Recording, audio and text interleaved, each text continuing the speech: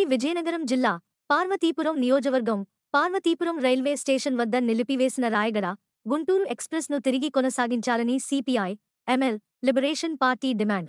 ఇటీవల ఎంతో మంది ప్రయాణికులు ప్రయాణిస్తున్న రాయగడ నుండి గుంటూరు ఎక్స్ప్రెస్ను నిలిపివేయడంతో ప్రయాణికులు తీవ్ర ఇబ్బందులు పడుతున్నారు.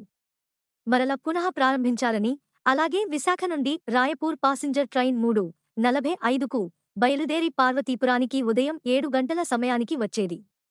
దీనివలన ఉద్యోగస్తులు చిరు వ్యాపారస్తులు విద్యార్థులు ప్రయాణికులకు అనువుగా చాలా సులభతరంగా ఉండేది.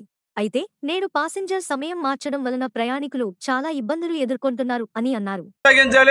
అలాగే ఏదైతే రాయపూర్ పాసెంజర్ వైజాగ్ నుండి మూడు నలభై నిమిషాలకి అక్కడ బయలుదేరింది.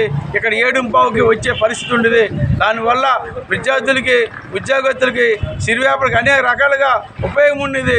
దాన్ని ఈరోజు ఏదైతే రాయపూర్ ప్యాసింజరు పది గంటలకు రావడం వల్ల చాలా ఇబ్బంది పరిస్థితి ఉంది. అటు సిరి వ్యాపారస్తులకి విద్యార్థులకి ఉద్యోగులకి ప్రయాణికులకి అలాగే సంత సంక్రాంతి సందర్భంలో మరొక ప్యాసింజర్ ఏదైతే వేయాలి రాయగఢ్ నుండి ఎనిమిది గంటలకు పార్తరం వచ్చాక పాసెంజర్లు వేయాలి. అలాగే ఏదైతే ఎక్స్ప్రెస్ వల్ల ఈరోజు ఎక్స్ప్రెస్ పెంచిన వల్ల వీళ్ళు ఇబ్బంది పడి పరిస్తుంది ఉంది పాసెంజర్ మరి రెండు ట్రైన్లు ఎక్స్ట్రా వేసి అలాగే ఏవైతే ఇప్పుడు గుంటూరు ఎక్స్ప్రెస్ కూడా కొనసాగించి ప్రజలకు అందుబాటులో ఉంచుతారండి. ఈ సందర్భంగా సిపిఎం లిబరేషన్ పార్టీ ఈరోజు కేసీఆర్ సినిమా సూపరింటెండెంట్ గారికి ఎంతో చూడడం జరిగింది.